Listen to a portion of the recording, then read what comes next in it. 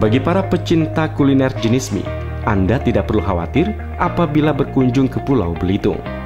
Karena keanekaragaman kuliner yang berbahan dasar mie saat ini masih sangat banyak dan mudah ditemukan di negeri yang berjuluk Laskar Pelangi ini. Mie Acin legendaris salah satunya. Di kedai milik Acin yang terletak di Jalan Sriwijaya Tanjung Pandan Belitung ini, para pengunjung dapat menikmati kelezatan mie khas dari negeri Laskar Pelangi. Bahkan sejak pukul 6 pagi biasanya para pembeli sudah mengantri untuk mendapatkan seporsi mie legendaris ini.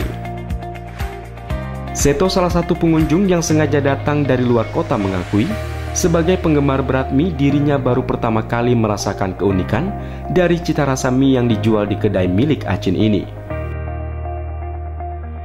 Kali kita sebagai pendatang yang bukan orang Belitung itu merasa aneh ya, merasa aneh, rasanya beda sama istilahnya lidah dari suku lain gitu ya.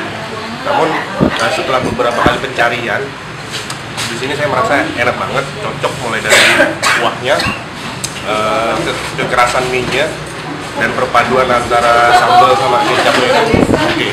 Jadi sebagai pendatang nggak putus asa untuk mencari tahu di mana tempat mie yang enak dan akhirnya juga uh, merasa mendapatkan feel dan taste yang enak untuk mie Belitung ini. Mie Belitung memang keren. Salah satu keunikan mie legendaris ini adalah keanekaragaman rasa mie yang ditawarkannya. Dimulai dari rasa manis, asin, hingga rasa pedas. Dengan mewarisi resep masakan dari orang tuanya yang hingga kini masih terus dipertahankan, kedai ini sudah eksis selama lebih dari 50 tahun. 50 tahun lebih. Kita jual mie, mie-nya enak sih. Ada asin, ada manis, ada cabai, ada pedas. Nah, nggak ada asam. Mau pakai cuka sedikit boleh, nggak mau boleh. Enak lah pokoknya mie-nya lah.